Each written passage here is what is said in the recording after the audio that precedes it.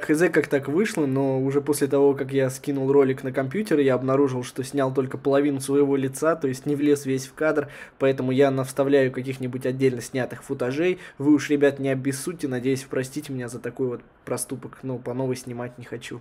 Последние дни мои ролики выходят довольно редко, и я в этом себя абсолютно не виню. Дело в том, что, видимо, я стал настоящим королем, если вы понимаете, о чем я. Я сомневаюсь, что у меня коронавирус, точнее, я точно в этом не уверен, но последние дни я себя чувствую очень паршиво. У меня температура за 38, ночами я перестал спать и чувствую себя действительно дерьмово.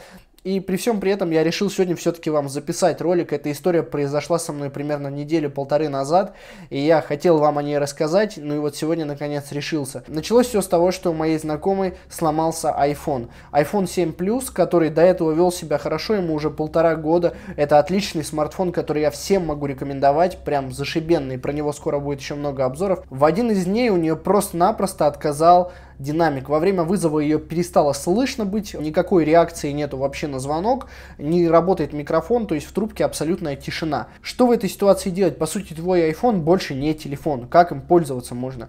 Я решил, что его нужно сносить в сервисный центр Apple, потому что даже если мы не будем рассчитывать на гарантийный ремонт, то как минимум сделаем ремонт у официалов, это надежнее, это все-таки более верный метод, чем идти куда-то в метро, где тебе его Ашот перепаяет, и он у тебя развалится опять.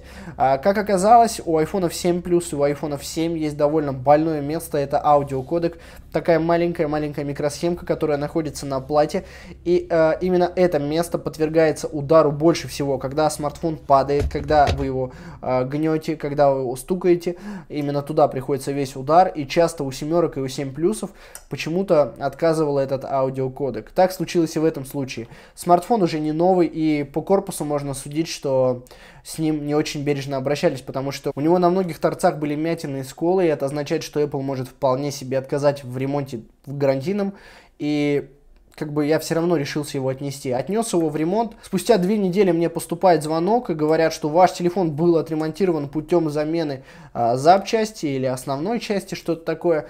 И, в общем-то, придите и заберите. Ну, это уже не может не радовать. То есть, бесплатный ремонт по гарантии у Apple через полтора года, когда все мы знаем, что обычно год гарантии, здесь полтора.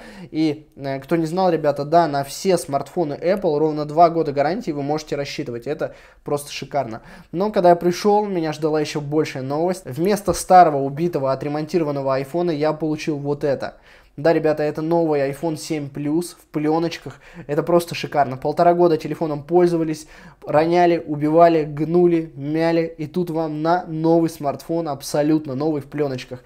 И что не может не радовать, у него чистая гарантийная история. Это означает, что у него целый год гарантии. я, честно говоря, думал, что у него, скорее всего, продолжится гарантия от старого айфона. Но нет, ребята, год гарантии, представляете? То есть на замененное устройство год гарантии. Блин, Apple, это, конечно, просто что-то с чем-то. Я неописуемо рад, что имею честь вообще пользоваться вашей техникой, потому что это действительно очень-очень качественная, крутая техника.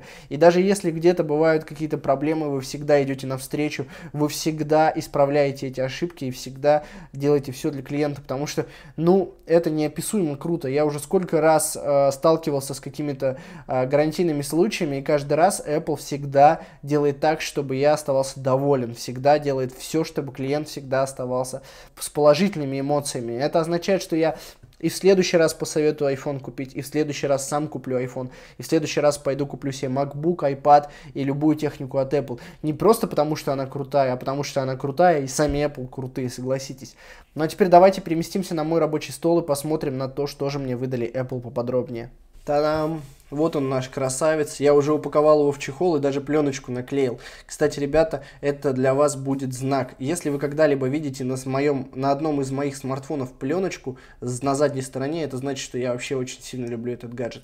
С 7 плюсом у меня вообще теплые воспоминания, как практически с каждым айфоном, потому что в свое время, когда он вышел, это был первый смартфон с двумя камерами, первый смартфон с портретным режимом.